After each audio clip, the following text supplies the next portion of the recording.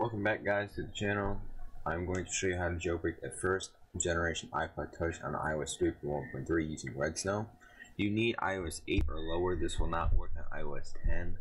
I don't know if it's working on a VM. I haven't tried it, but I know from experience Red does not play well with iOS 10.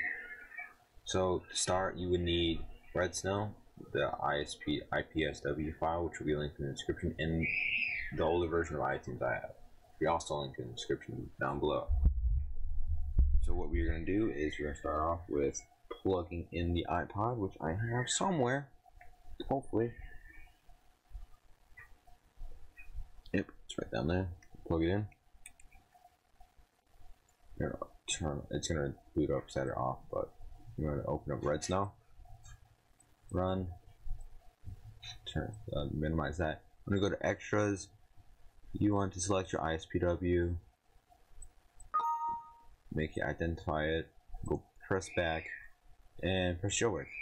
It's gonna patch the kernel, everything. Alright, before we get started, make sure your iPod is off off, which mine is not, it just turned on. You're probably wondering, weren't you just on iOS 1.1? Yes, I just restored it for this video now, uh, I'm gonna, I'm gonna say install Cydia and the battery percentage. Do not install anything else except verbose boot if you want, you know, look cool, or boot logo and recovery logo. That's up to you. But I'm gonna press next. this is where you want to pay attention. This is the most critical part. I'll press next.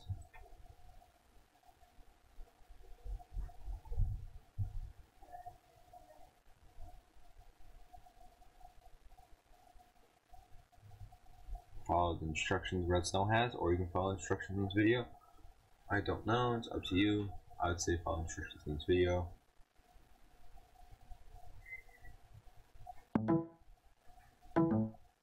Alright, now it's going to wait for reboot.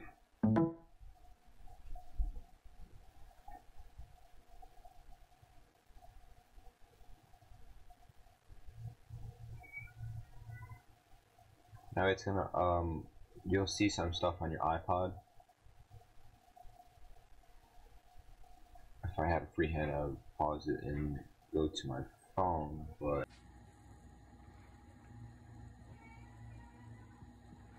now it's gonna um you'll see some stuff on your iPod. If I had a free hand, I would pause it and go to my phone, but I can just show you after the video but it's going to update your RAM disk. It's going to download jailbreak data. Update your kernel, everything like that. Then you're going to get a verbose boot. But it's going to reboot right now. You get a verbose boot, which is the, I love it, but I don't know why. I, I like seeing the Apple logo when it turns on. This is currently, I think, a tie between something in the pull system. I'll probably show it, I'll cut to it. And then once you see this screen, it's going to be flashing everything.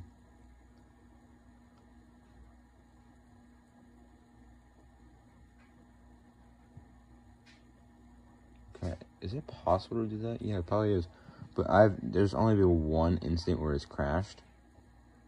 Hopefully we don't have that today, but um the classic red snow, the running pineapple. Removing your applications. After this, this is where we don't need the computer. We can just run it off here. I'm just gonna sit this down on my iMac or my MacBook and I'll pause the recording.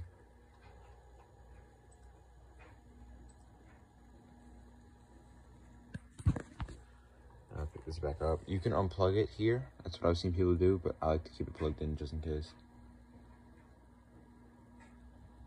I might unplug it, but um, this is a beautiful device.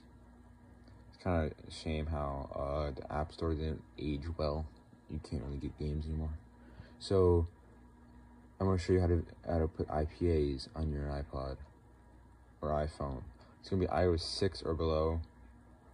Um, there are different ways for every different version, so I'm going to show you how to do an, an iPhone with iOS 6 which I have my iPhone 4 or my 3GS. I can probably get that on iOS 6 again. I have two motherboards that work. Uh, for iOS 4, I have the second generation touch. As you can see, it's fully restored, so I can show you how to do it. Show you uh, how to jailbreak and everything. This is a very fun video. Gonna need Windows XP. And then we have this one. Should be also in that video. So it's gonna be three different parts. I don't know about iOS 5, it might be the same iOS 6, but I don't have anything to test it with iOS 5. I wanna get a third generation iPod so I can do that. But it's gonna be installing the bundles.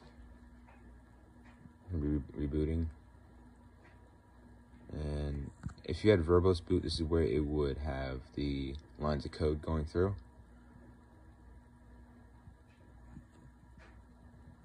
And as we put that down, I'm gonna open up something on my computer so I know what we have to do for the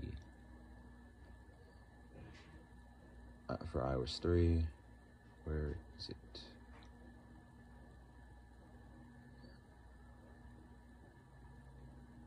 It's was 3 respiratory or repo, I would say.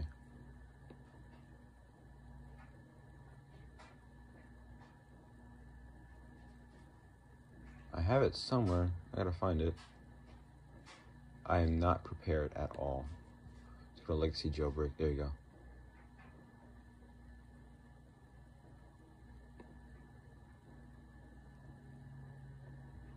In the video, I'll have the link on screen in, in and in the description, but uh, I'm gonna get here.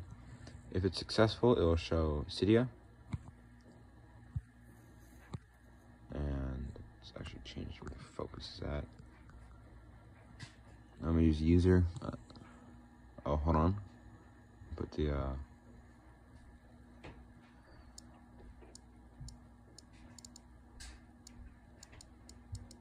make sure your Wi-Fi password it is in, mainly because um,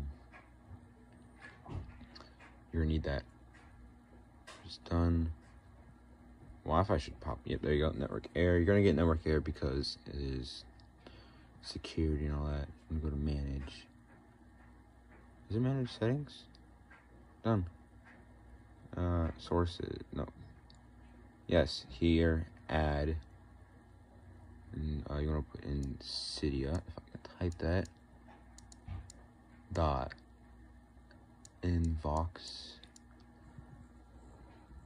iPlay.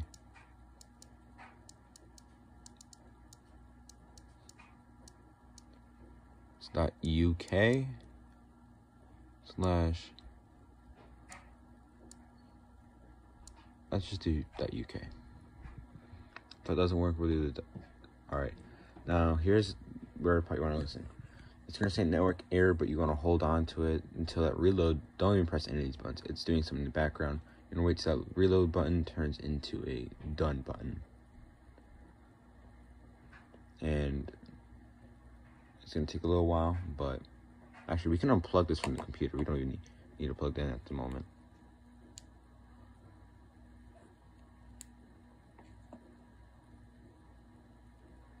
Oh, I can unplug with one hand. Okay. So while we wait, I'll have, and I'll cut it. I'll cut it. Okay, now that has been turned to a close button, you want to do a complete upgrade. Which it should hopefully not crash. And then it's to say confirm, and do confirm, and then you're to wait. Wait till that reload button becomes a close button. As you can see, it's doing stuff in the background. And we'll be, um, I mean, we can wait a little bit, but we'll be back when it's finished. Alright, now when that reload, actually, yeah, the cancel button should be gone. Press reload. Oh, actually. Um, hold on. Don't press reload. Don't do what I did. Don't don't do that. I'll be right back. Alright, you want to wait till reloading data shows up again. I should have waited. But here we go. And then it's going to restart the springboard and then everything should be complete upgrade with Cydia. And we'll wait for the next part.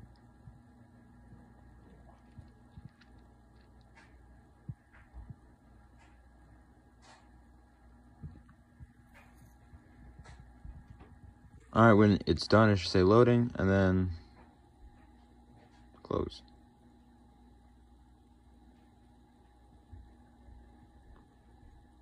I don't know what this next part, I don't know if we should restart the device or not. If it's to want us to restart it, then we restart it. It's like it is loading normally.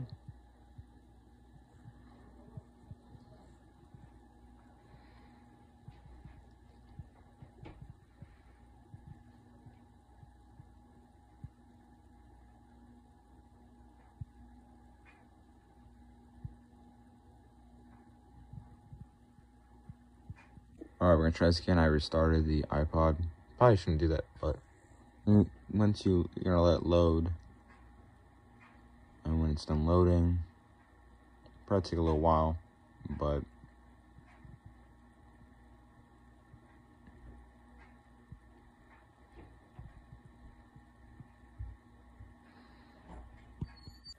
Alright, when it's finished loading, you're gonna get the screen response, press close. Then you want to go to uh, sources. I haven't been in a while, as you can see. Sources, you want to go to IPG Cydia repo. I'm gonna press, actually, not to press all. HTTP patch, install.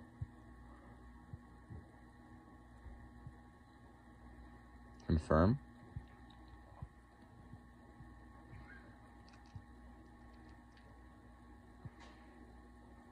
Then you're gonna wanna wait for reloading data like this. Right as I said it, we got it. I was gonna say we would have to do another cut.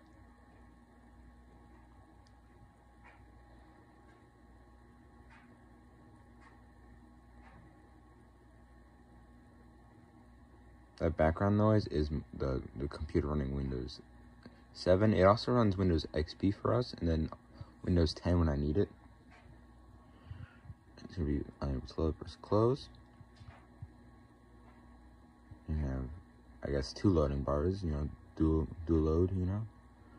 Um don't think it's supposed to do this. There you go. Now it refreshed the springboard. Let's open that up again. And we should have the HTTPS now. It should work. It shouldn't say uh unable to load. It should load. Hopefully.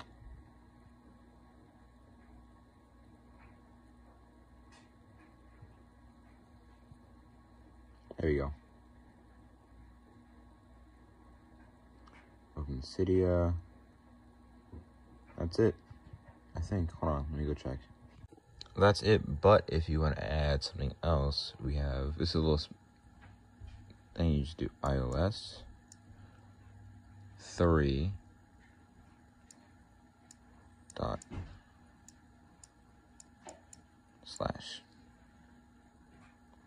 at source it's going to verify the URL.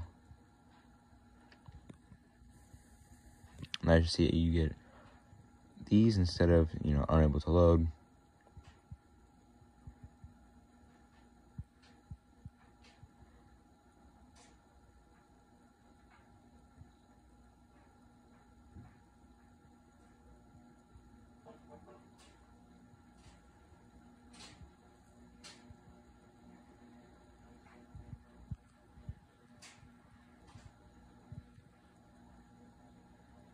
Uh, it's going to be reloading the data as before.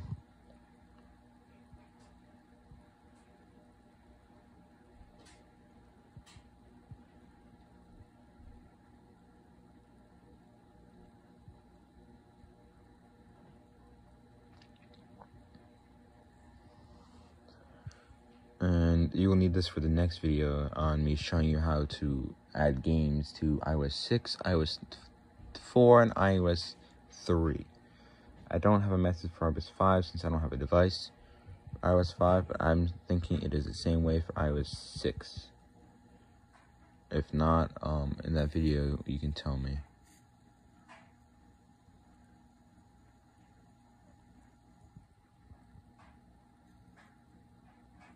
So while we wait, as you can see, my screensaver is going on. Let's return to Cydia. It should be the iOS 3 party and iPhone OS 3.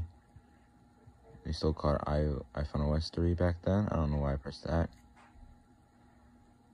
All packages, and then you should have AppSync for iOS 3.1, 3.2.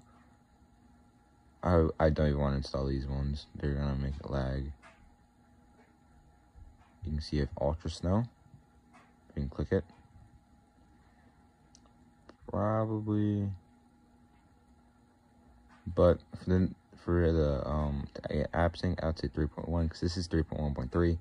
It might work. It should work. Modify. Install. You want to install that and wait for my next video to come out. Mainly because I have to find a way to get games onto these old versions, which I probably have a way for only two of them. iOS 6 is a different method. I think. Yeah, yeah, it is a different method. I use three tools for iOS 6, but you still need uh, Cydia for this and AppSync.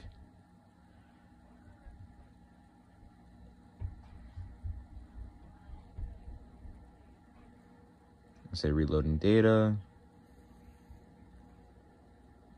Also, actually, not, I think it is running Linux. I think these do run Linux, but technically it's Mac OS. These are early versions. And now we should have it. And that's the video. See you guys later. Keep an eye out for my next video. It's going to be about jailbreaking a iPod Touch second generation. And after that, it will be the how to get apps on these because I still have to jailbreak that to show you how to do that. Thank you guys for watching.